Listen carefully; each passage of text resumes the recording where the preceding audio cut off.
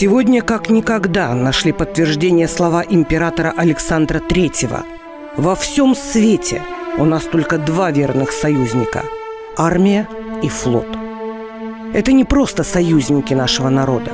Это наша гордость и надежда. Нет человека, которого оставил бы равнодушным военный парад на Красной площади. Демонстрация мощи России и уверенности в мирной жизни. Поднимемся в небо вместе с героем нашего рассказа, полковником Василием Петровичем Клещенко, признанным асом-вертолетчиком.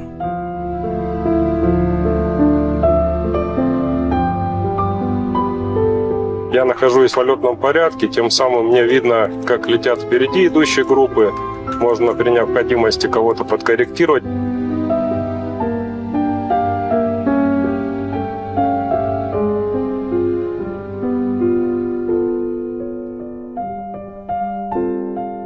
Василий Клещенко, русский летчик с украинской фамилией, родом из Амурской области, из села Ивановка – Сельская жизнь научила его преодолевать трудности с детства. Сибиряки все умеют. И руками работать, и головой думать. И Василий был таким, настойчивым. Заходил поступить в Уссурийское Суворовское военное училище. А это очень непросто. И стал его курсантом. Он рос рядом с вертолетным полком и еще ребенком любовался винтокрылыми машинами в небе, которая манила парня. Поэтому следующим этапом карьеры Клещенко стало Сызранское высшее военное авиационное училище летчиков. И там он буквально заболел вертолетами. Он знал каждый винтик в авиационной технике. Эта маленькая деталь для него была частью магии, поднимающей машину под облака. Часами он оттачивал сложные технические элементы за штурвалом. И позже, повышая свой профессиональный уровень, с легкостью поступил в престижную военно-воздушную академию в Воронеже. 2250 часов. Это же почти 100 суток непрерывного полета за штурвалом вертолета. Ему подчинялись многие типы винтокрылых машин. Разведывательно-ударный вертолет К-52, всем известный «Аллигатор», стал его любимчиком навсегда. Руководитель летной группы армейской авиации «Беркут» и Василий Клещенко – выполнял боевые задания в Чечне, Таджикистане и Сирии. Считался одним из лучших пилотов в России. Неоднократно участвовал в параде Победы на Красной площади. В 1979 году в городе Торжок Тверской области был создан Центр боевого применения и переучивания летного состава. Летом 2019 года отмечали 40-летие этого центра. Полковник Клещенко служил заместителем начальника центра и к юбилею дал интервью. Василию Петровичу тогда было 43 года. До начала специальной военной операции на Украине оставалось меньше трех лет. Мирных лет. Хотя летчики всегда на боевом посту.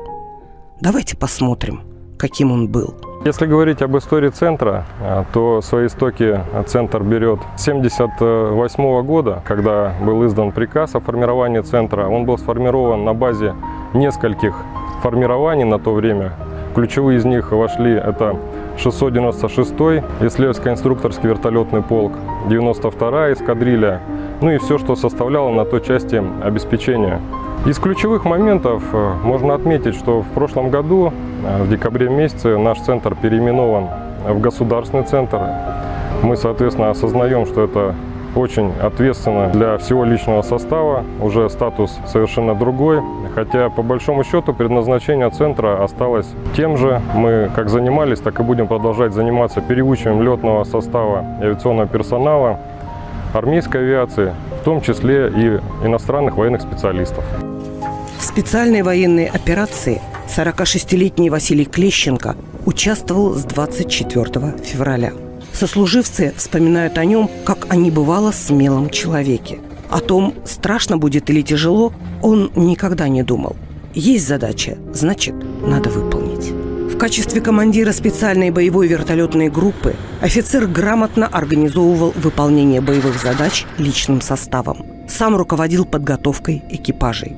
В небе летчик принимал нестандартные, неожиданные решения, благодаря чему он мог успешно уничтожать даже особо важные цели. Ночной вылет 15 апреля был стремительным. Получены координаты сил противника, собрана группа. Штурвал в руках, команда от винта, взлет. Быстро, профессионально, решительно. Вертолет Клещенко шел первым в составе авиационной группы.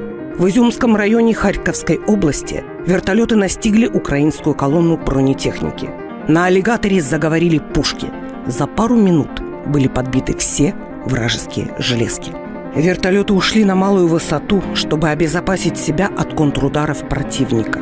Но недалеко от деревни Гусаровка попали в засаду. Выстрел из переносного зенитного ракетного комплекса сбил машину командира Беркутов. Уйти от такой внезапной атаки было почти невозможно. Клещенко пытался вытянуть вертолет до последнего, но верный аллигатор не выдержал ран. Винты остановились и беспомощно повисли над кабиной. Вертолет рухнул на землю и полностью выгорел. Василий Петрович мог бы заблаговременно катапультироваться и спастись, но из-за полученного повреждения лопасти вертолета не отстрелились. Поэтому катапульта не сработала. Его похоронили 12 августа 2022 года в Торжке на Иоанна-Богословском кладбище. У полковника Василия Клещенко остались жена и две дочери – Ульяна и Варвара. Он всегда говорил, что он счастливый человек, потому что у него есть крепкий тыл, его замечательная семья. Указом президента Российской Федерации за мужество и героизм, проявленные при исполнении воинского долга, полковнику Клещенко Василию Петровичу посмертно присвоено звание Героя России. Жители старинного Торжка решили назвать в его честь одну из улиц. А еще имя Василия Клещенко присвоено школе номер пять которую с отличием окончила старшая дочь героя. Говорят, что летчики не умирают, они просто навсегда остаются в небе. Может, они превращаются в птиц с большими сильными крыльями. И этими крыльями в вечном полете укрывают свою землю, свою страну, свой народ от горя и невзгод. Запомним Василия Петровича Клещенко таким, каким он был, когда вел свой вертолет над Красной площадью на параде Победы.